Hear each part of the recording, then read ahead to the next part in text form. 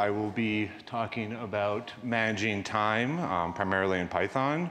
Um, spoiler, it's really not that easy. um, so a little bit about me. Uh, oh, that didn't work.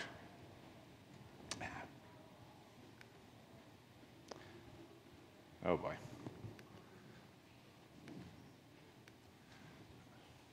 There we go. All right, so first of all, um, that's not me. I'm not Time Lord. Um, that's not me. And that's definitely not me. Um, don't know if there's any Doctor Who fans in the room, but Peter Capaldi's the worst. Anyway, ooh. Um, so, who am I? A little bit about me. Um, as I was already introduced, um, I am a manager of spacecraft operation software at Spire Global. Um, we are a satellite company. We build and manufacture CubeSats, launch them into space, and collect data from them. Um, and a little plug about the company, we are hiring for my team, so if you're interested, definitely come talk to me. Um, so why is time important? Um, I think a kind of a better question is, you know, why isn't it? You know, it's something that we deal with all the time, you know, in our day-to-day -day lives. And if the programs, the software that we're using is doing it correctly, it's the kind of thing that we don't notice. You know, you, you schedule a meeting with some coworkers on the East Coast. That meeting automatically shows up on their calendars at, you know, a couple hours before. You know, you can go on there and you can see the time zones they're in, so you're not accidentally scheduling, you know, a 7 a.m. meeting Eastern time when you're trying to meet at, you know, actually more like 9 a.m. their time, 11 hours. Um, so yeah, so time, time's the kind of thing that can be really hard to do, um, and it's the kind of thing that if you do correctly, people just don't notice. Uh, so why is time hard? Um, for starters, there are 37 different active time zones in the world. Now, there's only 24 hours around the world, so that's a little bit of a head scratcher. Um, there are time zones that sit in 15, 30, and 45 minute intervals. Um, you also have some areas that respect daylight savings time, some that don't. You have areas inside individual states, like the Navajo Nation, that does not you, that, that respects daylight savings time, while the state they're in does not. Um, if anyone here has ever traveled between Arizona and Utah, it can definitely get very confusing to try to figure out what time it actually is. Another interesting thing is over the last 75 years, there have been eight different countries that have changed their time zone at some point or another. Um, there are actually nine, the ninth one being North Korea. They changed their time zone in 2015, but they, just, they decided against it and then switched back three years later. Uh, yeah, so another reason why time is hard. Um, definitely have, I'm sure we all have some good war stories around managing time. Uh, a couple of my favorite ones, um, two of them involve testing. So in a previous role, uh, we had a series of acceptance tests that would run whenever you committed code into master. Um, this was an East Coast company. And for some reason, oh, that's good. Uh, for some reason, those tests would fail between 8 p.m. and midnight. Now the code was completely fine, but the problem was it was entering data into the database, and then when it was requesting back, it wasn't specifying the time zone. So it was requesting data based on UTC time when it really wanted Eastern. So there was literally a block of time where the test would fail, and then once 1201 came around, the test would start to pass again. And I actually checked some code in, and it got merged at 801, and the test broke. And my boss actually got really mad that I didn't fix the test. I just wanted to wait another four hours, but that's a whole other story. Um, and the other testing example was I was working for a company that was based on the West Coast, and all their engineers and customers were on the West Coast, and I was here in Mountain Time. Well, some of the tests were failing because once again, all their stuff was on Pacific time, my code was running on Mountain Time, it was comparing hours, and things weren't right. Um, nothing wrong with the code, it was just the test report. Um, and then I think my favorite example was when I was interfacing with a uh, third-party API. Um, we were discussing with them like how we were going to use their API, and they essentially had two APIs, a service one and a billing one. So you would purchase certain things through a specific API, and then the other one would send you back data. They told us that both these APIs were on UTC time. Uh, they weren't. Uh, one of them was on Pacific time, and the other one was on UTC. Uh, the only way we figured that out is we started looking at the data that was coming in from their um, API and realizing it wasn't matching the timestamps in the database. Um, so those are just a couple of good examples of, of why time can be so hard. Um, all right, so I guess the question is, you know, what do we do about it? Um, TLDR, just use UTC. Um, interestingly enough, my company, Spire, the majority of our products are internal, so we just use UTC, and actually most of the stuff doesn't bother us. Uh, but for people with customers out there, you probably, your customers probably don't want to see UTC times in their application. So that's not always the best solution. Um, so in that case, you usually want to do something where you store the data in UTC and then present it to them in a certain way. Um, a couple other solutions are in both your code and like in your database to use date times instead of dates. Um, to my knowledge, there aren't any date objects out there that are time aware, but date times are. So you can always just store the date at midnight with a time zone associated with it. Um, yeah.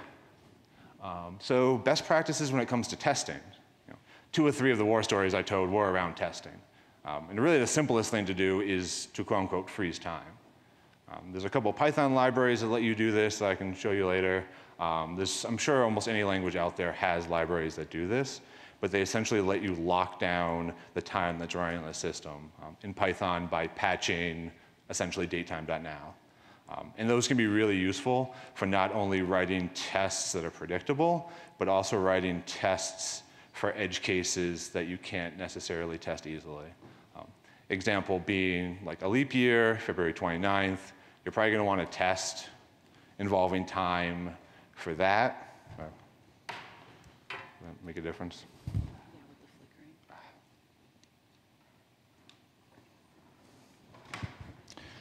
All right. Um, yeah, so running tests that cover certain edge cases in your system is always intelligent. Um, I've definitely seen tests that have failed you know, on the first of the month or on the last of the month or what have you. Um, so that's really, I think, the most important thing when it comes to testing. Freeze time. Um, if you're working with external services, that's not always the easiest thing to do. If you're doing integration tests and you're actually talking to other systems, you probably can't do that, but there's also nothing you can really do in that case. Um, yeah, so best practices in Python. Um, try to always use time zone aware objects. Don't use magic numbers is a good example as well. You know, don't say month plus one. Um, that's going to get you into trouble when you hit December. Um, day plus one will also get you in trouble the last day of the month, um, things of that nature. And there's also a ton of good libraries out there for integrating with time zone objects. Uh, PYTZ is kind of the gold standard for time zones. Um, DateUtil has a lot of nice functions. I already mentioned FreezeGun for testing. And then DeLorean, which is one I actually haven't used, but I've read good things and has a really great name, so I just kind of had to put it up there. Um, yeah, so with that, I figured I would jump into a couple live examples to demonstrate some of these things.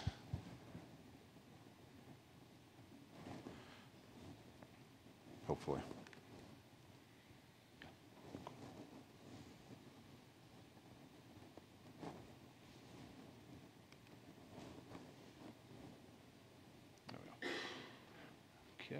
So the first example here, um, just converting a date time or date to a date time. Um, as you can see, you can you know create date time with just year, month, day, and it gives you date time.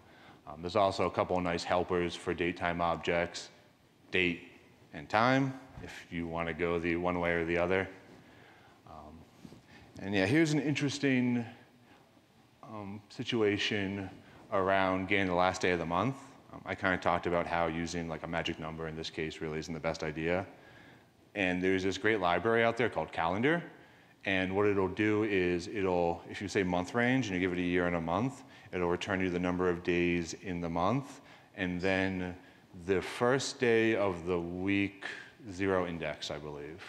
Um, so in 2016, February, February started on a Monday, and in 2019 in February. It started on a Thursday, I think. Um, so yeah, then the example of getting the last day of the month, just do something similar we did above. Uh, date time, today, year, today, month, and then I am getting that value out of the month range tuple to, uh, to give me the last day. Um, and here's also kind of an interesting problem um, around time resolution. So date times are accurate to the millisecond, I believe. Um, maybe it's, I think it's millisecond. Sorry, it's, it's been a while since I worked with this. Um, but if you're looking to say get the quote unquote last moment of a, a given time period, you can use datetime.resolution to work with that. Um, the example I'm showing here is if I want to get the last moment in a given month. Um, I mentioned the example of doing month plus one minus time resolution, and that's given me, you know, 9:30, 20, you know, 23rd hour, 59 minutes, 59 seconds, or 59 minutes, 59 seconds, 9.9999 uh, milliseconds. Um, and as I already talked about, things like that, where you hard code a value to increment, will fail at some point or another. Um, as this example shows, in December, that code would start to fail. So that would not be something you'd want to have running in production when all of a sudden midnight of December 1st rolls around and your code stops working. Um, so really, a, the best solution to something like this is, sorry, I just lost my place, um, is to once again use month range um, to get that value and subtract it out. Um, interestingly, you can also use max. So date times have a max and min value associated with them, where datetime.min is, I believe, epoch time, and uh, datetime.max is some ridiculously large year that we're probably never going to hit. Um, and yeah, so there's just a couple more examples of that. Um, I mentioned the date util library. Uh, I'm using their relative delta.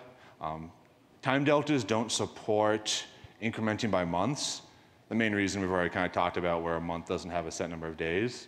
Um, but they have a function, relative delta, which does that for you. Um, and I'm guessing under the hood, it essentially does what I've showed you above, which is use like month range and then convert that. Um, but when you're looking for something like that where you have the last moment, um, what you're probably really concerned about is just comparing values.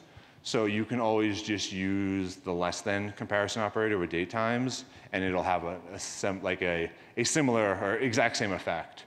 If I say, you know, check the date before, you know, that specific time, it'll work for any any time prior. Um, so yes.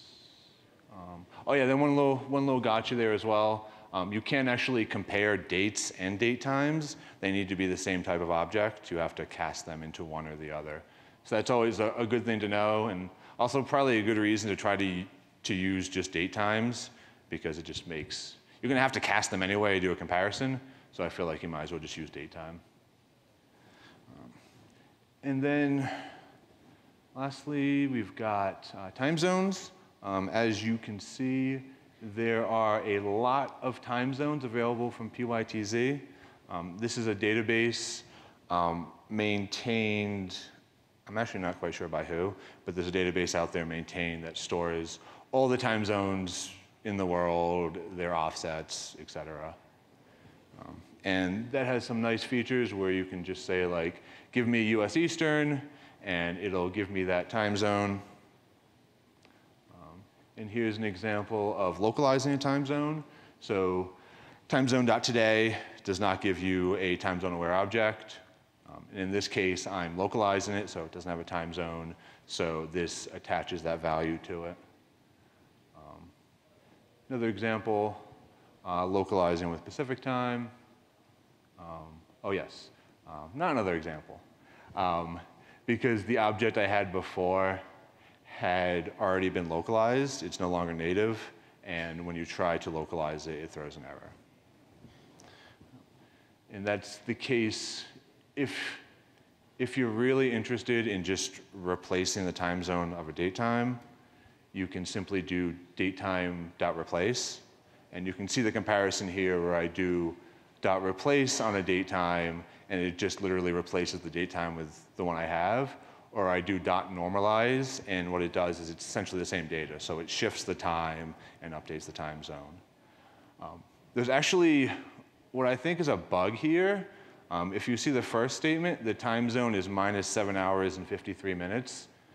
I don't know why that is. Um, if anyone, last time I gave this talk, no one knew why. Um, if anyone in the room knows why, I would love to know because I still haven't figured it out. Um, I also don't use replace because it's not generally a good practice. Um, and then lastly, just a couple little oddities with uh, times and time zones. So in, this is also interesting Python 2, Python 3 uh, issue. Um, Python 3, uh, time zones are always evaluate to true, um, but in Python 2, some of them will resolve to false. Um, time of zero, I believe, like datetime.min will also resolve to false in Python 2. Um, I don't know why you'd ever use that. Um, I'm sure someone at some time did, and they made it a feature, but probably shouldn't do that. As I already mentioned, datetime min, datetime max, um, those are pretty useful um, because if you try to go below or above one of those, you'll get an exception. Basically says that's not a valid date. So that's basically all I've got. Um, I know I went pretty quickly, so I think I left plenty of time for questions. If cool.